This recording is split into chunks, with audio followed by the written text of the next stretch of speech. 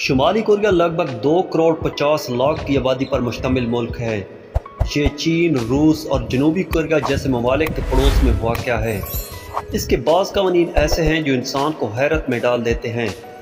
Number एक, मुल्क के अवाम को दारकूमत में रहने के लिए हकूमत की इजाज़त लाजमी दरकार होती है।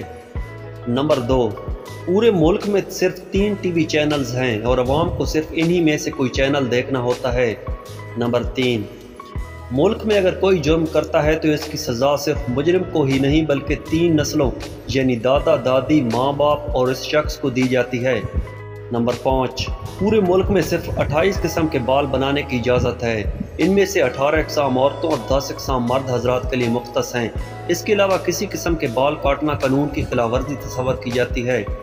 नंबर छः मुल्क में बास्केटबॉल खेलने के लिए अलग कवानीन बनाए गए हैं।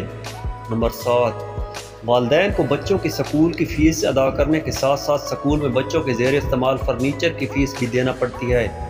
नंबर आठ, बाइबल को मगरबी सकाफत तस्वर किया जाता है, इसलिए बाइबल का रखना कानून जुर्म तस्वर किया जाता है।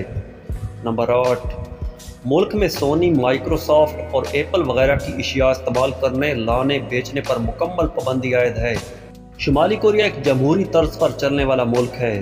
ज़्यादातर ममालिक की तरह वहाँ पर बिहार हर पाँच साल बाद इलेक्शन होता है, लेकिन हैरत अंगेज़ तौर पर जीतना सिर्फ़ एक ही ख़ानदान केम ने होता है।